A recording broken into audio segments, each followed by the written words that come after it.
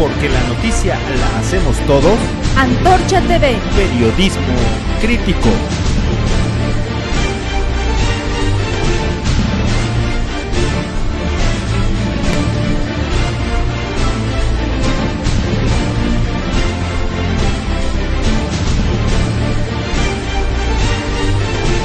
Antorcha TV. Periodismo crítico. Sabinillo está de luto. En esta zona de la profunda Mixteca oaxaqueña, el lunes 27 de diciembre el movimiento antorchista nacional se citó para despedir al líder campesino Miguel Cruz José, asesinado a tiros el pasado 24 de diciembre en Tlajiaco.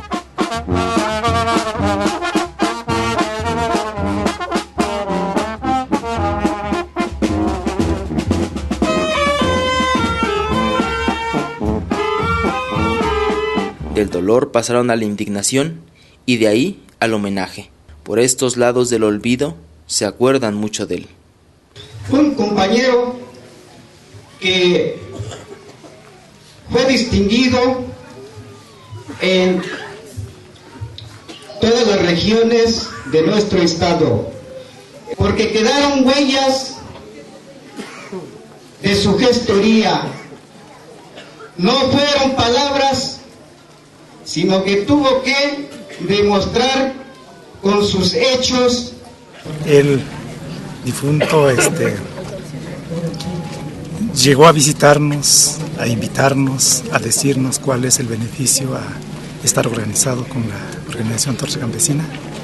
Y nosotros como comunidad pues sí nos convencimos, porque el apoyo ha sido suficiente para nuestra comunidad tan marginada que ha sido. Hoy venimos a este día histórico, a Sabinillo, a sepultar a un héroe. Si en algún lugar se puede uno encontrar o escuchar, y si la muerte no es la nada sino el todo, seguramente que Miguel está orgulloso de esto que hizo. Miguel Cruz José fue un líder social durante buena parte de su vida. Nació en Sabinillo, municipio de San Juan Ñumi, Oaxaca, un 10 de agosto de 1965. Su brava inteligencia y una sensibilidad acrecentada a golpes de pobreza lo condujeron a formar en las filas del movimiento antorchista. Más tarde, su diario trabajo lo catapultó a la dirección nacional de la organización de la que era miembro al momento de su muerte.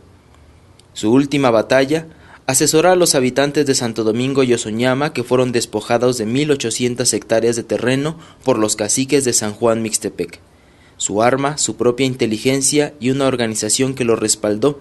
Les agradecemos pues compañeros a cientos y miles que hicieron cita el día de hoy para estar al pendiente y pedirles al gobierno del estado que castigue a los secuestradores. Pero en esa batalla no todos jugaron limpio.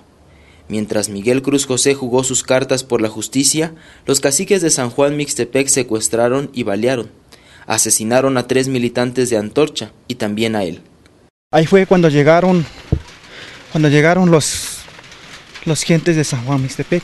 Ahí lo balacearon y, y ya después los niños que andaban cuidando los animales allá lo gritaron.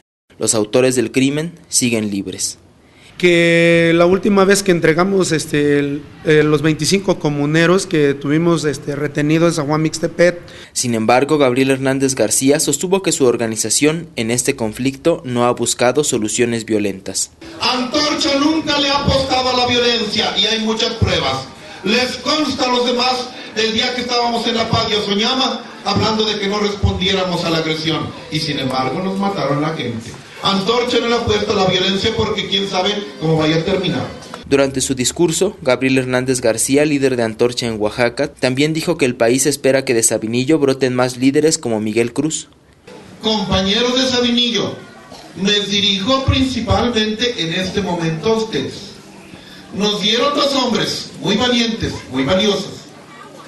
Pero si Sabinillo dio dos hombres, yo creo que puede dar más.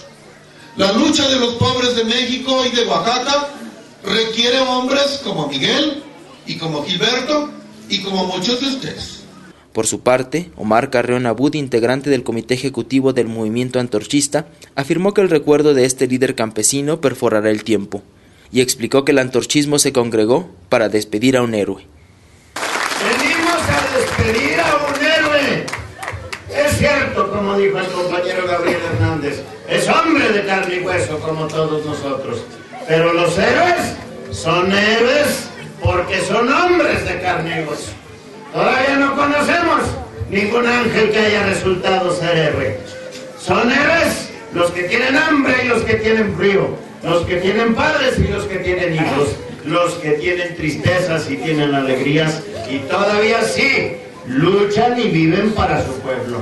Hoy venimos a este día histórico a Sabinillo a sepultar a un héroe que a nadie se, se le olvide, ni a las viejas generaciones ni a las nuevas, menos a las nuevas que tendrán que recoger la bandera de Miguel Cruz José. Hoy venimos a sepultar a un héroe y nos descubrimos la cabeza ante su ejemplo. Porque su ejemplo no solamente sirve para Sabinillo, sirve para todos los antorchistas del país.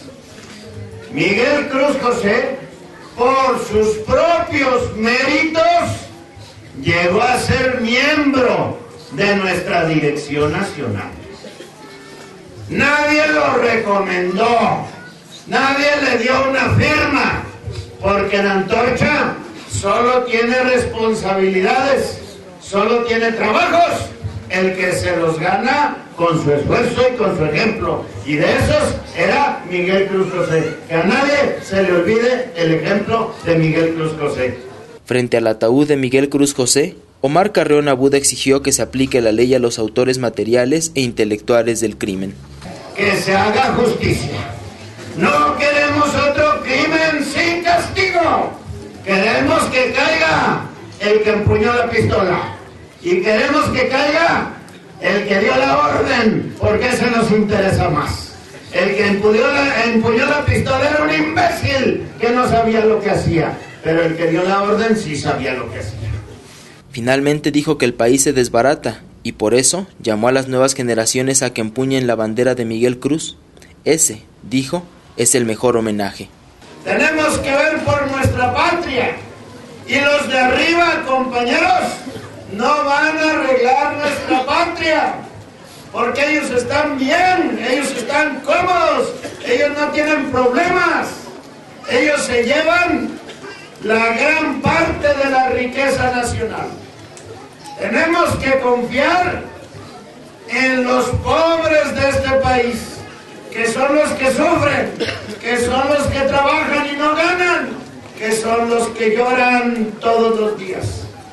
Por eso, con el permiso del compañero Miguel Cruz José y su familia, yo subrayo las palabras del compañero Gabriel Hernández. Mantengámonos unidos, mantengámonos férreamente organizados. Llevemos la palabra de Miguelito Cruz a todo el que nos la quiera escuchar. Llamémoslo a que se una, a que hagamos más fuerza, el tiempo de los pobres Que nadie se quede fuera.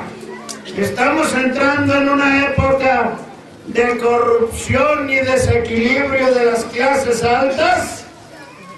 Y bien se puede decir que ya las clases altas casi no pueden. Y las clases bajas ya casi no quieren. Si de aquí salió un Benito Juárez García de estas tierras y fue el mejor presidente de México, de aquí puede salir un Miguel, un Gilberto y muchos más que todavía van a dar mucho de qué hablar en nuestra patria al servicio de los pobres de México. Su casa era pequeña, sin enjarre y sin pintura. Miguel Cruz José se despidió de ella y se fue a ser ciudadano del mundo de los libres. Mientras tanto, aquí, en Sabinillo, se acuerdan mucho de él. Y en Oaxaca, en México, todavía habrá recuerdo para rato. Con lo que él hizo por su gente, por la vida que él vivió, se van a chingar, porque dentro de 100 años, aquí y en todo México, se va a oír hablar de Miguel Cruz José. ¿Sí o no, compañeros?